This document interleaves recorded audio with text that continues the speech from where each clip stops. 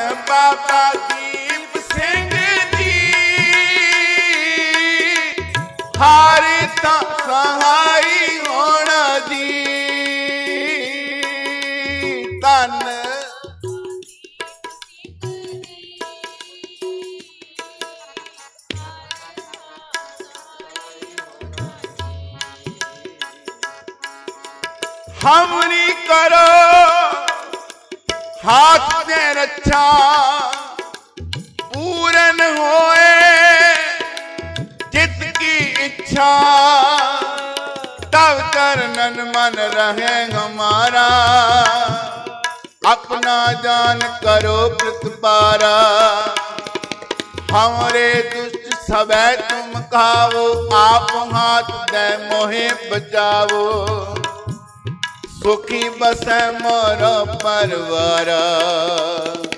ਸੇਵਕ ਸਿੱਖ ਸਭੈ ਕਰਤਾਰਾ ਧੰਨ ਬਾਬਾ ਦੀਪ ਸਿੰਘ ਜੀ। ਹਾਰ ਤਾਂ ਸਹਾਈ ਹੋਣਾ ਜੀ। ਧੰਨ ਬਾਬਾ ਦੀਪ ਹਾਰੀ ਤਾਂ ਕੇ ਤੁਮੈ ਸਰਨ ਨਿਹਾਰ ਆਪ ਹੱਥ ਦੇ ਲੈਹੋ। ਸਰਬ ਠੋਰ ਮੋਸ ਦੁਸ਼ਟ ਤੋਖ ਤੇ ਲੈਹੋ ਬਚਾ ਸਰਬ ਠੋਰ ਮੋ ਸਰਬ ਠੋਰ ਮੋਹ ਸਹਾਈ। ਸਰਬ ਠੋਰ ਮੋਹ ਸਹਾਈ। ਦੁਸ਼ਟ ਦੋਖ ਤੇ ਲੇਹੋ ਬਚਾਈ। ਦੁਸ਼ਟ ਦੋਖ ਤੇ ਲੇਹੋ ਬਚਾਈ।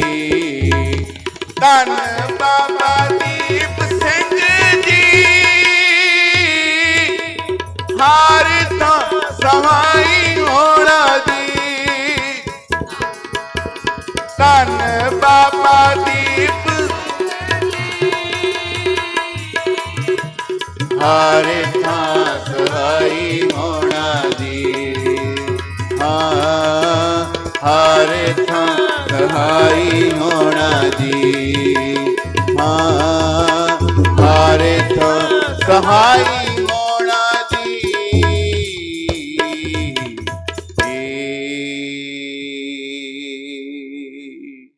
ਬਾਬਾ ਦੀਪ ਸਿੰਘ ਜੀ ਕਿਰਪਾ ਕਰਨ ਸਾਨੂੰ ਵੀ ਸਾਡੇ ਪਰਿਵਾਰਾਂ ਨੂੰ ਵੀ ਆਪ ਆਪਣੀ ਮਿਹਰਾਮਤ ਕਰਕੇ ਜੋੜ ਕੇ ਰੱਖਣ।